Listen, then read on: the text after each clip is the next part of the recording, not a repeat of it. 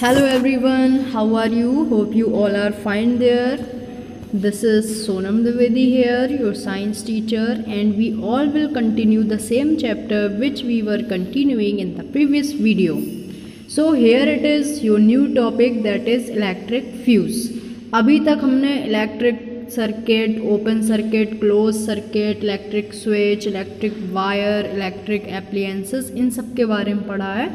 But the next topic is electric fuse list out the electrical appliances we use every day there are a number of electric sockets at various places in a house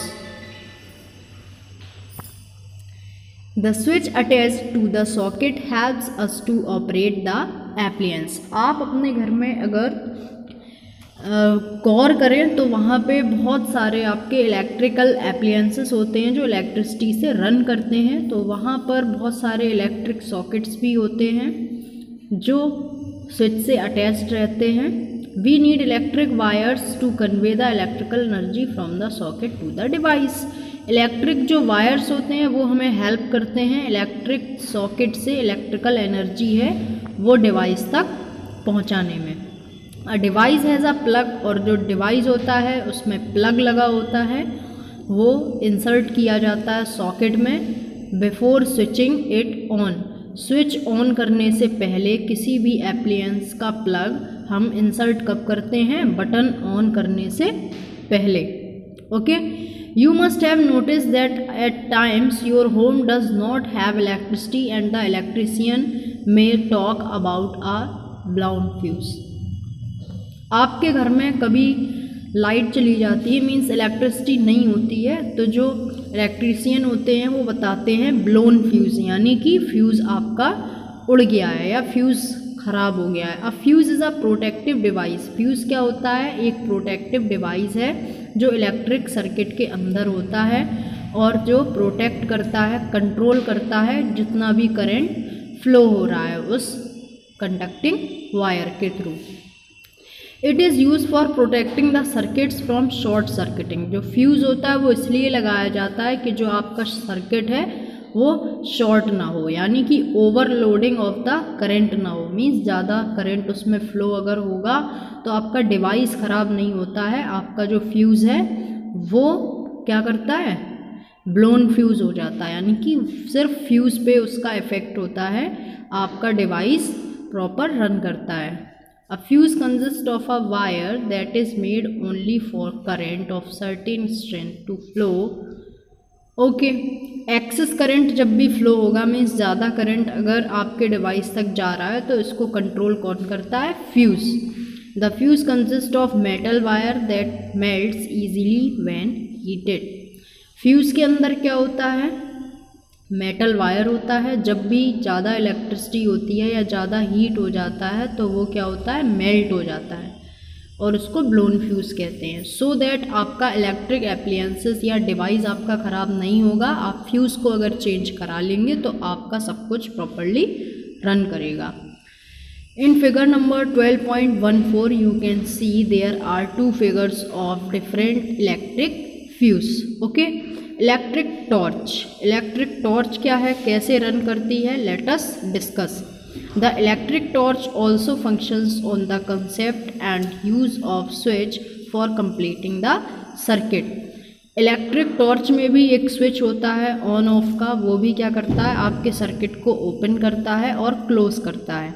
कल मैंने आपको बताया हुआ था, जब circuit open होता है तो स्विच ऑफ़ होता है और जब स्विच ऑन होता है तो सर्किट क्लोज होता है और जो करंट है वो क्लोज सर्किट में फ्लो होता है okay so you can see figure number 12.15 in that there is a internal structure of a torch यहाँ पर टॉर्च का इंटरनल स्ट्रक्चर गिवन है, जिसमें आप देख सकते हैं रिफ्लेक्टर है, सबसे फ़र्स्ट पार्ट उसका टॉर्च बल्ब है okay okay? This is reflector, torch bulb bulb filament plastic casing means जो आउटर कवरिंग होती है टॉर्च की that is called plastic casing metal switch होता है for on off slide switch होता है.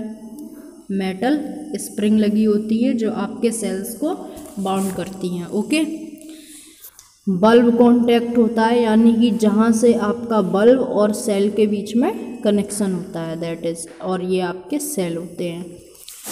Okay next and insulators are useful switches plugs and sockets have सबसे पहले आप पढ़ लीजिए conductors and insulators what are conductors conductors क्या होते हैं? Those material which can pass the electricity through them जो इलेक्ट्रिसिटी को पास हो जाने देते हैं दैट आर कंडक्टर्स और जो नहीं होने देते हैं दैट आर इंसुलेटर्स ओके जैसे कि वुड प्लास्टिक क्लोथ ये सभी क्या हैं? इंसुलेटर हैं, और उनको नॉन कंडक्टर्स भी कहा जाता है।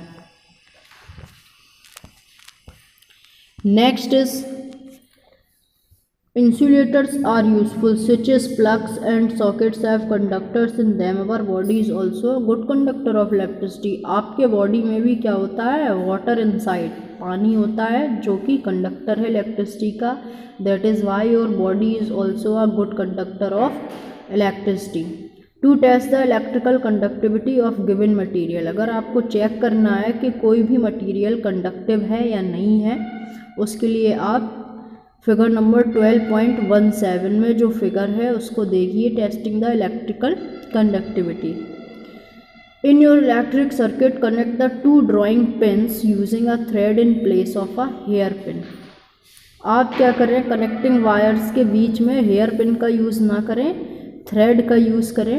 Does the bulb light up क्या बल्ब जलेगा? बिल्कुल नहीं जलेगा, क्योंकि थ्रेड है, वो कॉटन से बना होता है and it is the insulator has anyone ever advise you not to touch electric switches and equipment with wet hands क्या आपको किसी ने एडवाइस किया है कि गीले हाथों से कोई भी इलेक्ट्रिक स्विच या कोई भी बिजली से चलने वाला इक्विपमेंट आपको टच नहीं करना है? ऐसा क्यों होता है? क्योंकि आपकी बॉडी जो है, वो क्या है? गुड कंडक्टर है और वाटर जो है, वो जल्दी से इलेक्ट्रिसिटी को कैच करता है।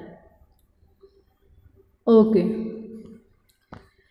next year is activity twelve point three new electric circuit join the drawing pins with the help of the objects listed in table that you have to complete yourself आपको इन material में बताना है कौन से electric circuit complete the table the first one has been done for you thread cloth does the okay जैसे object आपका thread है तो किससे बना है? क्लोथ से. लाइट उसमें जलेगी, नो, वो कंडक्टर है insulator that is insulator eraser है, किससे बनी हुई है? प्लांट से रबर प्लांट से. लाइट उसमें जलेगी, no that is insulator okay so you have to finish it yourself next electric shock and safety precautions यानी कि बिजली से जो करंट लग जाता है शॉक होता है, झटका होता है, और जो सेफ्टी प्रिकॉशंस है मींस इलेक्ट्रिक अप्लायंसेस आप यूज़ कर रहे हैं तो आप क्या क्या सावधानी बरतें। Electricity is very useful but very dangerous too. Electricity हमारे लिए बहुत ही यूज़फुल है, लेकिन हमें उसको सावधानी से डील करना चाहिए। अगर हम कोई भी चीज़ प्रॉपरली हैंडल नहीं करते हैं तो that is definitely harm us A human body is a good conductor of electricity so it experiences electric shock when high voltage electric passes through it. आपकी जो बॉडी है वो गुड कंडक्टर है electricity का और अगर उसमें ज़्यादा इलेक्ट्रिसिटी वोल्टेज पास कर दिया जाता है तो हमें इलेक्ट्रिक शॉक यानी कि झटका महसूस होता है it can cause various nervous disorders nervous system में हमारे बहुत सारी प्रॉब्लम हो सकती हैं. इवन ज़्यादा देर तक अगर हाई फ्रिक्वेंसी का वोल्टेज और हाई वोल्टेज इलेक्ट्रिसिटी पास होती है तो व्यक्ति मर भी सकता है. This is the reason electric wires are always coated with insulated materials like plastic और रबर इसीलिए जो भी इलेक्ट्रिक वायर्स हैं, वो किससे कोटेड रहते हैं? प्लास्टिक से या रबर से? या कोई भी स्विच हो, प्लग हो, सभी किसके? प्लास्टिक के बने रहते हैं। दैट इज़ इंसुलेटर सेफ्टी क्या क्या है? किसी भी इलेक्ट्रिक वायर के पार्ट को अगर वो अनकोटेड है, यानी कि उससे जो कोटिंग है वो हट चुकी है तो हमें टच नहीं करना चाहिए। आपको इलेक्ट्रिक अप्लायंसेस जब आप टच कर रहे हैं हैंडल कर रहे हैं तो आपको रबर स्लीपर्स पहननी चाहिए। आपके हाथ सूखे होने चाहिए। ओके okay, आप कोई भी इलेक्ट्रिकल सॉकेट का यूज़ घर पे किसी भी एक्सपेरिमेंट के लिए ना करें। Do not touch the person who is receiving an electric shock. अगर किसी व्यक्ति को लाइट के या बिजली के झटके लग रहे हैं तो हमको उसको टच नहीं करना चाहिए। क्योंकि आपको भी वो इलेक्ट्रिसिटी ट्रांसफ़र हो सकती है because our body is also a conductor of electricity. Try to remove the connection between that person जो व्यक्ति करंट के झटके फील कर रहा है, उससे और जहाँ से उसको करंट लग रहा है, वो कनेक्शन आपको तोड़ने की कोशिश करना चाहिए। ऐसी चीज़ से जो एक इंसुलेटर हो like wood rubber tyre rubber gloves plastic material etcetera so this was your complete chapter for better understanding please do read and recall portion and revise it properly and Here are some new words from the chapter. Please do write them in your notebook and learn it also. Till then, bye bye, take care, have a good day.